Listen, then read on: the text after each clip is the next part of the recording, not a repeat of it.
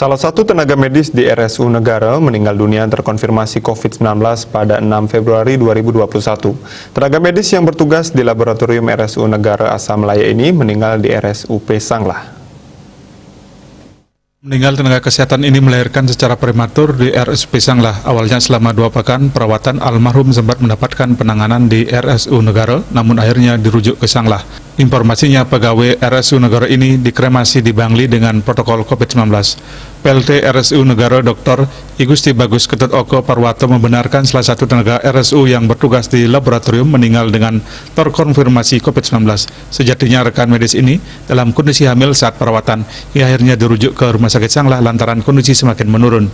Almarhum kondisinya semakin menurun pasca melahirkan prematur.